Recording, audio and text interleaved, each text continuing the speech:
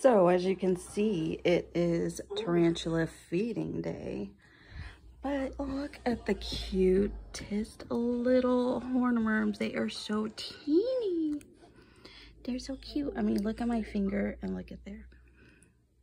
And they gave me a whole bunch. I ordered 12, okay? And I guess since they're super tiny and they didn't give me much um, medium size, they're all babies, they gave me a shitload. they're just so cute. I just can't.